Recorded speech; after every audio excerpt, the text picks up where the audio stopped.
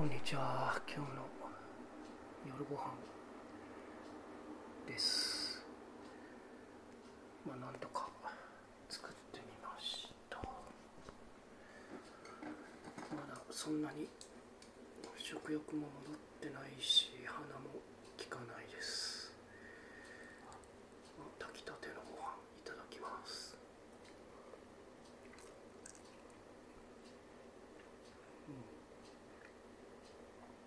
多分美味しいはずです。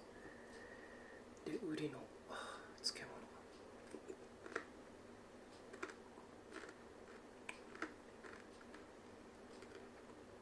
うん。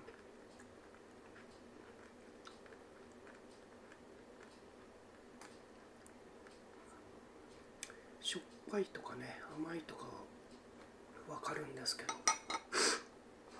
まだ美味しさを感じるまではって感じですね。